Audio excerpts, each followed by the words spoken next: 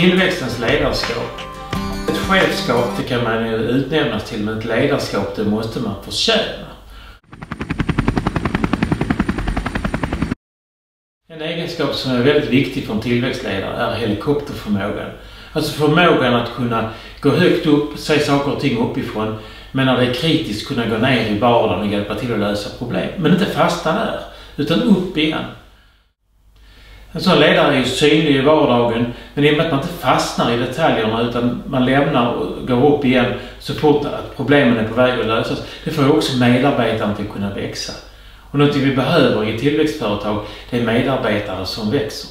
Så en synlig ledare som är där när det behövs men låter medarbetarna växa. Det är en oerhört viktig egenskap, alltså helikopterperspektivet, att kunna ha det. Egenskap som är oerhört viktig, det är att vara det goda föredömet. Vi symboliserar det på Arons med en fyr. En fyr som visar alltid vart man ska gå och hur var vägen är. I dimma, i ur och skur dygnet runt. Och att vara en fyr, det är alla ledare. Det går inte att välja bort. Väljer man att göra sig osynlig, ja, då gör man ju sin osynlighet väldigt synlig. Du sänder budskap. Så därför är det viktigt som en tillväxtledare, och ledare överhuvudtaget, att alltid tänka på att vara det goda föredömet. Hygienfaktorer som att komma i tid till möten och så vidare, det måste man uppfylla. Du kan inte kräva någonting av dina medarbetare utan att du själv också kan prestera det i princip.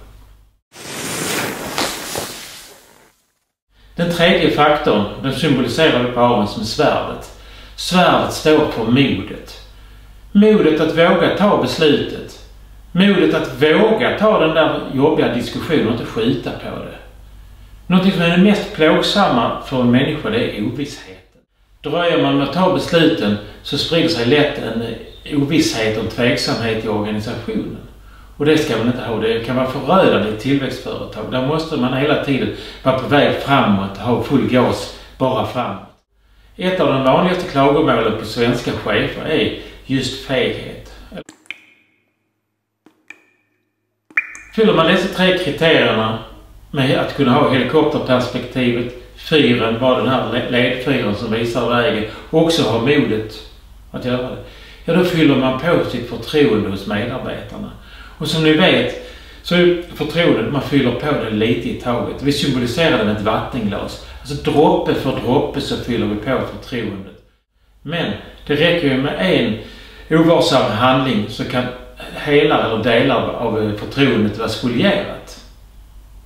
Och har man tappat sitt förtroende eller delar av det så är det oerhört jobbigt och ibland till och med helt omöjligt att reparera skadan helt.